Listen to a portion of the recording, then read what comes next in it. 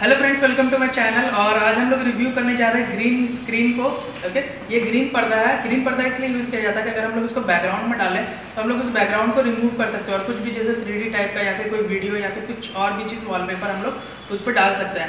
इसको मैंने अमेज़ोन से ऑर्डर किया था ओके ये हमने ऑर्डर किया था अमेज़ोन से और इसका जो लिंक है वो मैं डिस्क्रिप्शन बॉक्स पर डाल दूँगा तो आप एक बार जाकर के ऑनलाइन इसको चेक कर सकते हो। तो हम लोग एक बार ओपन करके देखते हैं और फिर हम लोग देखेंगे कि कैसे हम लोग इसको यूज़ कर सकते हैं, कैसे बैकग्राउंड में लगा करके और हम लोग रिमूव कर सकते हैं। तो वो भी सारी चीज़ें मैं आपको बता दूँगा कि कैसे हम लोग रिमूव करते हैं और सॉफ्टवेयर में कैसे हम लोग इसको वर्क करते हैं। तो हम लोग अगर इसके साइज़ की बात करें, जो हमारा ग्रीन स्क्रीन उसकी साइज़ की बात करें तो ये 8 बाई ट्वेल्व फीट का है। मीन्स 12 फीट जो हाइट हो गया और फिर 8 फीट हमारा वेथ हो गया।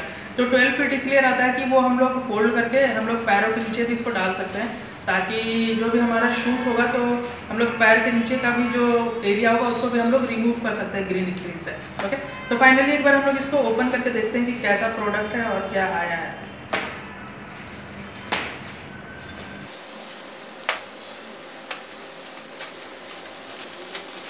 तो ये फाइनली है हमारा ग्रीन स्क्रीन निकल गया। ये बस एक पर्दा होता है। और ये ऐसा कपड़े का बना होता। है इसकी खासियत ये बात होती है कि ये रिफ्लेक्ट नहीं करता। जो भी हमारा लाइट होता है हम लोग जो लाइट सामने से देते हैं उसको रिफ्लेक्ट नहीं करता।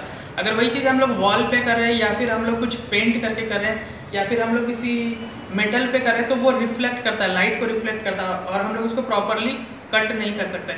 बट ये जो स्क्रीन है ये कुछ भी लाइट जो लाइट है उसको एब्जॉर्ब कर लेता है कुछ भी वो रिफ्लेक्ट नहीं करता।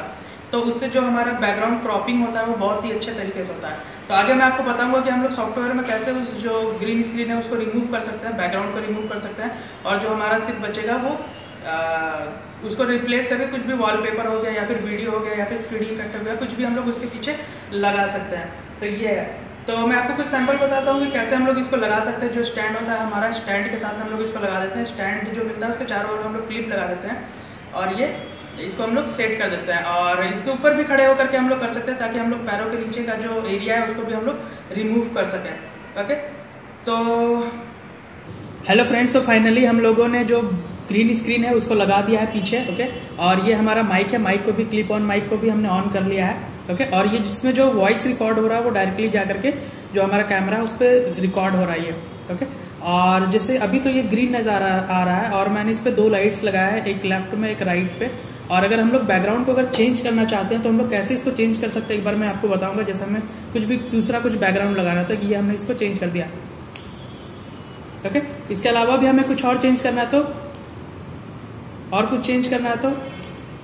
तो ऐसे करके हम, हमें जो भी पसंद आएगा, कुछ भी बैकग्राउंड जो हमें पसंद आएगा, उसको हम लोग इस पर लगा सकते हैं और ऐसे करके अकॉर्डिंगली हम लोग जो एडिट है उसको कर सकते हैं। यही था फाइनल रिव्यू और अनबॉक्सिंग तो उम्मीद करता हूँ कि आपको वीडियो पसंद आया होगा। अगर आप एक यूट्यूबर हो तो आपके लिए भी ये बहुत फ़ायदे की चीज़ है।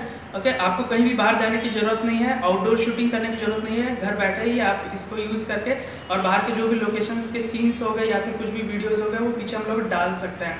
तो ये जो आपकी वीडियो की क्वालिटी है, उसको बहुत ही इंक्रीज कर देती है। ओके तो उम्मीद करता हूँ कि आपको वीडियो पसंद आएगा अगर आपको वीडियो अच्छा लगा तो प्लीज़ इस वीडियो को लाइक करें, मेरे चैनल को सब्सक्राइब करें।